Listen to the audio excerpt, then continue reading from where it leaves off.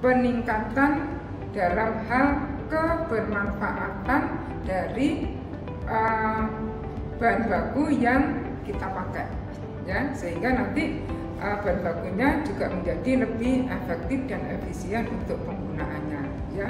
Di samping itu juga meningkatkan hal yang terkait dengan keramahan lingkungan serta proses pembuatan produk yang lebih baik itu ya nah itu yang terkait dengan MFCA ya.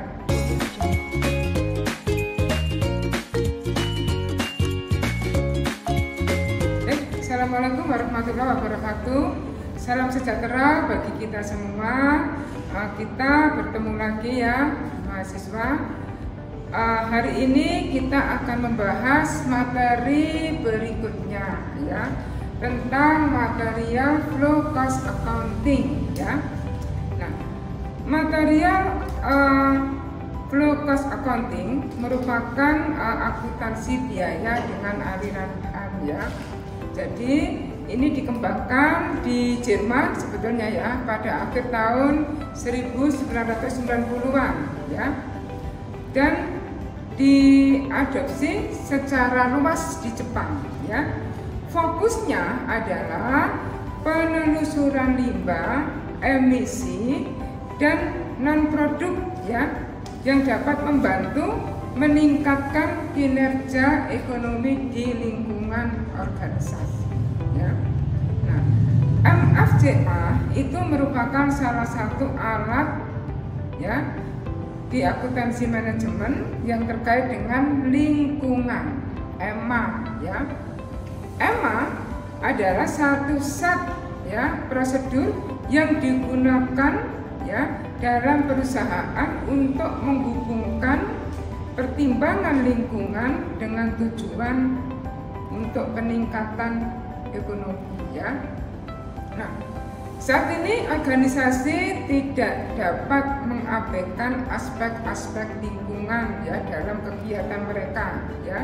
Mereka harus mencari uh, alat manajemen atau mencari hal-hal yang terkait dengan bagaimana kita itu memanage lingkungan itu untuk menjadi lebih berdaya guna. Ya. Nah, alatnya apa?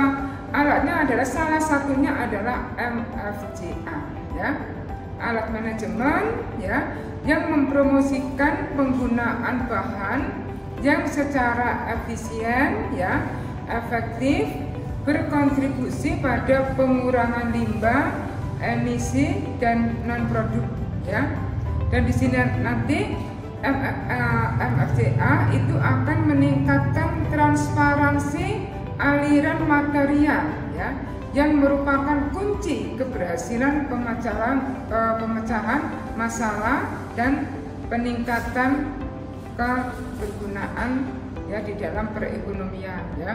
Nah, untuk memecahkan masalah organisasi dalam rangka meningkatkan produktivitas ya sumber daya ya dan mengurangi biaya secara bersamaan ya. Nah ini nanti MFCA itu sejalan dengan konsep yang namanya adalah green productivity ya yang dapat digunakan untuk menerapkan ya uh, bagaimana kita itu uh, mengantisipasi ya kerusakan kerusakan lingkungan ya. Nah, terkait dengan itu maka kita harus tahu dulu ya apa itu green productivity yang biasa disingkat dengan GP gitu ya. Green productivity itu sebetulnya merupakan sebuah strategi ya, strategi untuk meningkatkan produktivitas dan kinerja lingkungan untuk sosial ekonomi yang berkelanjutan ya. Jadi merupakan ya uh, alat manajemen lingkungan yang tepat ya dengan menggunakan teknik dan teknologi yang mengurangi dampak kegiatan lingkungan dan produksi. Jadi sehingga uh, green productivity sebetulnya kita itu berfokus pada bagaimana lingkungan itu kita hemat ya uh, bisa di manage dengan baik sehingga nanti akan membawa kebermanfaatan bagi kita semua ya. Green productivity itu mengakui pentingnya uh, pemberdayaan uh, lingkungan secara keseluruhan ya dan pengembangannya. Sehingga konsep konsep dari GT ini menunjukkan bahwa untuk setiap strategi pembangunan yang berkelanjutan harus fokus pada kualitas, profitabilitas dan lingkungannya ya. Kualitas ditentukan oleh pelanggan tentu saja ya. Pelanggan akan bersuara ya. Untuk apa? Untuk barang dan jasa yang mereka terima. Nah, di sini green productivity itu nanti akan bekerja untuk memastikan bahwa kualitas yang dipromosikan oleh perusahaan itu harus menggunakan material yang aman, meningkatkan efisiensi dalam pemrosesannya, dan memperbaiki kondisi kerja yang ada. Nah, uh, eh, MFCA itu nanti juga akan memberikan uh, konsumen ya yang lebih banyak berkinerja yang lebih baik dengan mengedepankan lingkungan ya dan nilai dengan menggunakan sumber daya yang lebih efisien ya. Termasuk efisiensi dalam hal energi misalnya ya. Termasuk efisiensi dalam hal pembiayaan sehingga penciptaan limbah itu lebih sedikit ya. Jadi melakukan lebih banyak ya lebih banyak kita itu manfaatnya ya dan lebih sedikit kita uh, kita menciptakan limbahnya ya. Nah implementasi yang diterapkan nanti harus memiliki manfaat langsung ya. Dan memang jangkanya adalah jangka panjang. Efisiensi dalam penggunaan sumber daya ya. Biaya produksi yang lebih rendah ya. Kemudian penurunan biaya perawatan dan pembuangan limbah serta kualitas produk yang lebih baik itu uh, tujuan dari MFCA ya nah di buku ya di modul itu sudah kita jelaskan tentang bagaimana metodologi dari MFCA ya di mana dia merupakan satu siklus ya bagaimana kita itu melakukan uh, memanage bahan baku itu ya sehingga bahan baku itu berdaya guna ya menjadi efisien dan menjadi lebih bermanfaat. Material flow cost accounting itu juga sebetulnya merupakan alat manajemen ya yang uh, yang mempromosikan bagaimana penggunaan bahan baku yang efisien ya yang efektif ya baik MFCA mengukur aliran dan stok semua bahan dalam proses pembuatan produk ya baik dari sisi moneter maupun sisi fisiknya Bahannya meliputi bahan baku dan komponen-komponen yang ada. Ya. Analisis MFCA memberikan perbandingan yang setara antara biaya yang terkait dengan produk dan biaya yang terkait dengan kerugian material. Ya. Sehingga dalam banyak kasus organisasi tidak menyadari sepenuhnya sejauh mana sebenarnya biaya kerugian material karena data kerugian material dan biaya yang terkait sering kali sulit untuk diidentifikasi dari informasi konvensional, akuntansi atau mungkin sistem manajemen lingkungan.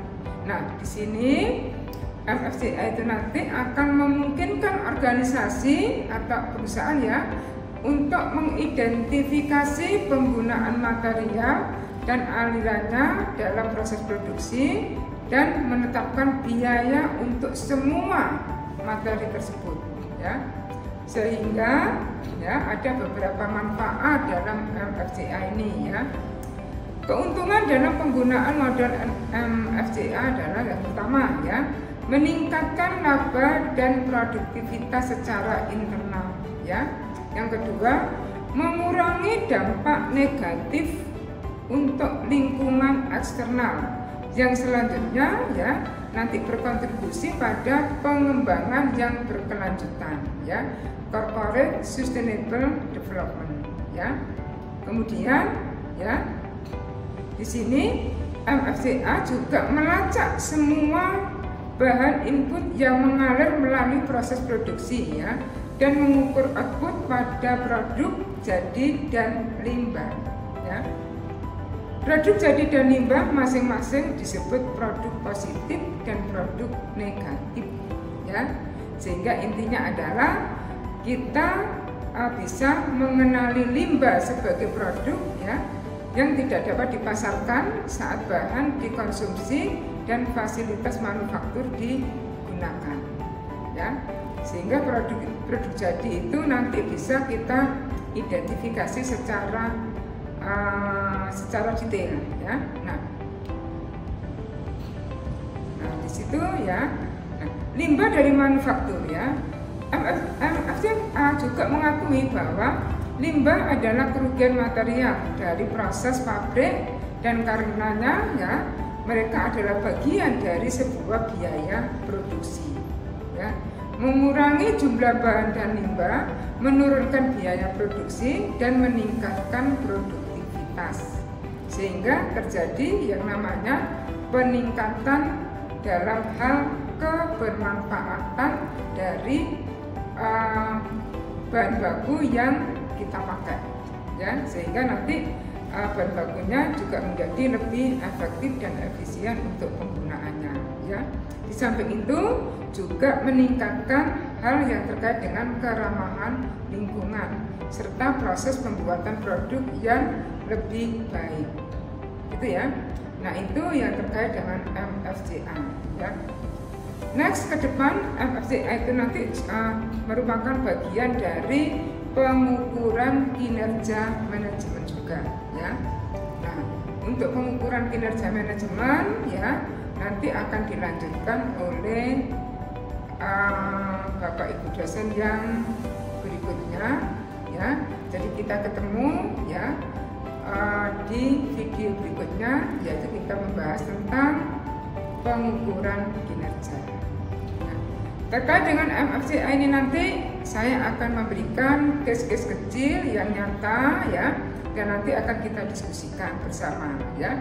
Dan perlu Anda ketahui bahwa MFCA itu merupakan salah satu konsep akuntansi manajemen lingkungan yang baru-baru ini memang lagi booming ya sehingga banyak sekali artikel-artikel yang terkait dengan MFCA yang juga harus anda baca itu ya uh, saya kira cukup dari saya untuk pembahasan MFCA ya kita ketemu di pembahasan berikutnya yaitu terkait dengan pengukuran kinerja sebuah organisasi. Saya akhiri. Wassalamualaikum warahmatullahi wabarakatuh. Salam sejahtera, sehat selalu dan salam.